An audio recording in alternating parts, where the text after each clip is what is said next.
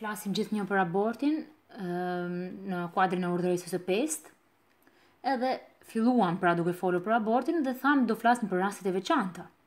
Edhe cilat janë këto? Mund të thoni disa prej jush. E ke lehtë ti të flasësh, e ke lehtë ti, a? aborti gjithnjë mëkat i rëndë, okej, okay, aborti kur nuk duhet bëhet. Po sikur vajza të mos ketë mundësi ekonomike që ta mbajë? Mm, okej. Okay. Por, ky motiv, të jep të drejtën që të vrasësh këtë fëmijë që si pa dashje tashmë është krijuar krejtësisht i pafajshëm dhe i pambrojtur, sepse i tillë është një fëmijë në barkun e nënës. Vetëm sepse është aq i vogël, aq i pambrojtur, aq i padukshëm, aq i padukshëm, kjo të jep më shumë siguri për ta hequr qafe. Kjo është kundërpërgjigja që mund të jap. Po zëre se ajo vajza është përdhunuar. Kjo është një nga situatat më ekstreme që merret si kundërshembull. Po zëre se ajo vajza është përdhunuar. Pse duhet të durojë gjithë jetën fytyrën që i kujton përdhunuesin e saj? Ok. Kjo është me të vërtetë një situatë e tmerrshme, edhe e kuptoj me gjithë zemrën. Por edhe këtu do të thoja diçka tjetër. Vajza e shkretë është me të vërtetë e pambrojtur, me të vërtetë, Po fëmija si është? Pse duhet të pësojë fëmija pasojat e një gjesti kaq të tmerrshëm? Të shfryrjes së një mashkulli që nuk mund të quhet i tillë në fakt, ë?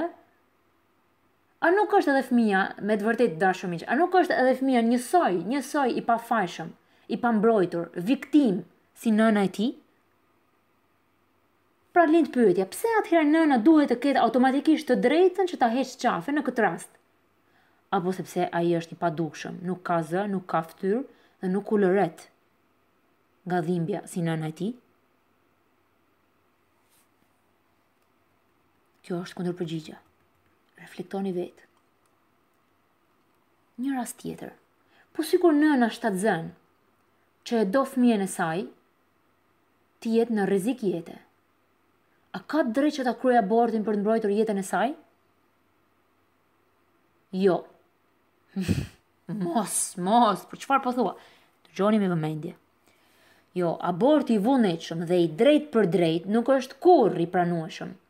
Sepse në çdo rast, në çdo rast është vrasja e një njeriu, një njeriu e shpjeguam në pjesën e parë pse është njeri.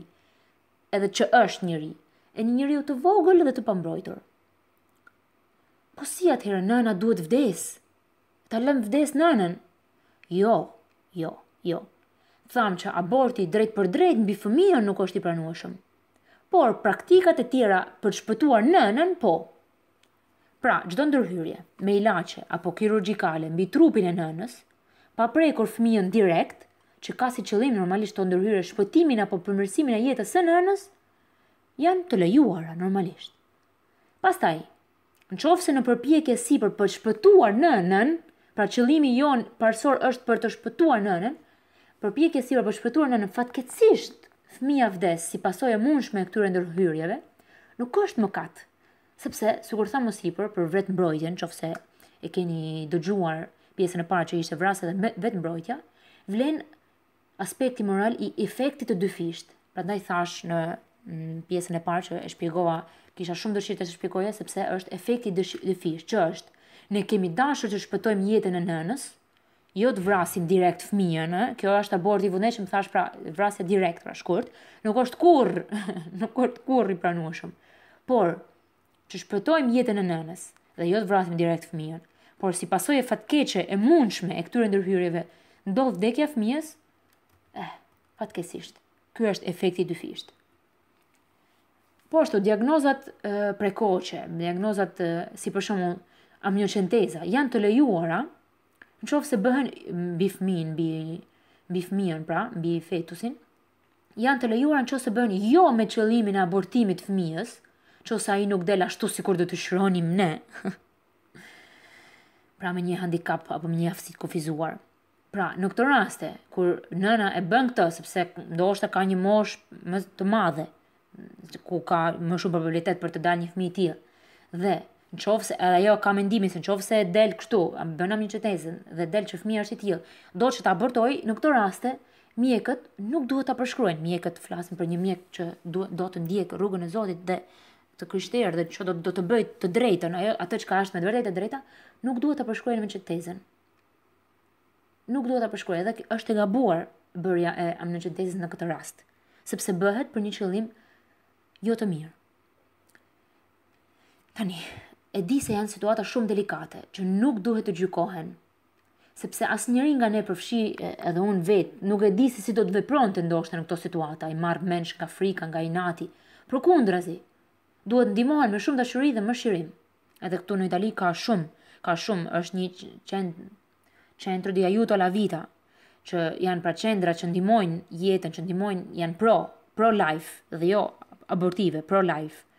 Pra që ndihmojnë për ato nëna në vështirësi, në vështirësi nga më të ndryshmet, si materialisht, si psikologjikisht, si ekonomikisht, si shpirtërisht, në gjitha aspektet i ndihmojnë, dhe unë jam munduar që të flas dhe do të flas gjithnjë më shumë me to, në mënyrë që sepse nuk kam dëshirë pikërisht sikur e kuptoj se janë situata të rënda, nuk kam dëshirë që të gjykoj të them ti, "Ë, ik, ë, mëkat i rëndë." Nuk është thjesht kjo, por në këtë rast ne jemi këtu për të folur dhe për të bërë më të ndërgjegjshëm. Është një përgjegjësim, është një ndërgjegjësim, është një sensibilizim kjo që po mundohemi të bëjmë. Edhe për të treguar se cili është realiteti i fakteve. Të kemi parasysh pra gjithnjë se përballë nënës, që sado e shkretë dhe e pambrojtur të jetë si femër, edhe është e vërtetë, nuk, nuk, nuk, nuk po themi që nuk është e vërtetë, e shkreta. Kemi një tjetër qenie njerëzore, që është akoma dhe më i shkretë dhe më i pambrojtur se nëna e tij, që dëshiron të vijë në jetë, po aq sa nëna e tij dëshiron të jetojë mirë, po aq sa ne kemi dëshiruar të jemi në jetë. Po aq sa prindërit tonë kanë dëshiruar që ne të jemi në jetë. Ai fëmijë dëshiron të vijë në jetë. Zoti dëshiron që ai fëmijë të vijë në jetë. Nuk janë një femër dhe trupi i saj, të drejtat e saj dhe një grumbull qelizash, pra mos e shikoni kështu dy aspekte. Femra, trupi i saj, drejtat e saj, grumbulli i qelizave parazitare mbi të cilat mund të vendosë si dojë nëna. Janë dy qenie njerëzore. Janë dy qenie njerëzore, janë një nënë dhe një fëmijë. Janë dy njerëz me dinjitet të njëjtë. Aborti i vullnetshëm është një mëkat aq i rëndë, aq i rëndë, sa në këtë rast kemi shkishërimin. Nuk e di se si mund të thuash shqip pra, se e di në italisht, po tani unë e përktheva kështu, shkishërim do ju shpjegoj çfarë është. Kemi shkishërimin e njeriut që e kryen.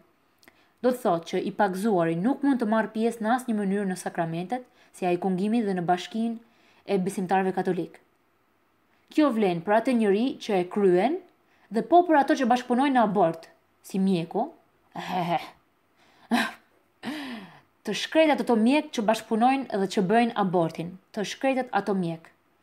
infermierë, gjithë ato që e kanë këshilluar apo që i kanë shoqëruar, si për shembull njoh disa shokë që i kanë bërë një mikeje favorin e madh që e kanë shoqëruar për të abortuar. Gjithë kryejnë mëkat të rëndë. Gjithë kryejnë mëkat të rëndë dhe mëkati i rëndë është ai e përsëris për të miliontën mijtën herë.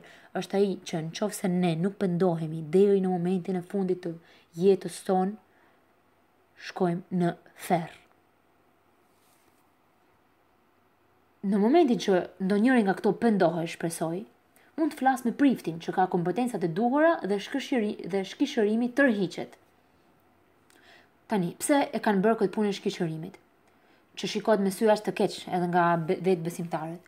Nuk është bërë për gjykuar si vrasës të pamëshirshëm dhe pafalshëm ato që e kryejnë apo për t'i etiketuar apo për t'i mënjanuar, nuk është bërë për këtë qëllim, kujdes, kuptojini gjërat mirë, por është bërë për të bërë më të ndërgjegjshëm këta të fundit, pra këta që e kryejnë këtë krim, falni që po e them, por është i tillë. për të bërë më të ndërgjegjshëm këta të fundit se sa i rëndë dhe sa i dëmshëm është ai akt që po kryejnë, sepse shpeshherë nuk e kuptojnë, duke qenë se krijesa që ndodhet brenda barkut të nënës është e padukshme, nuk shikohet.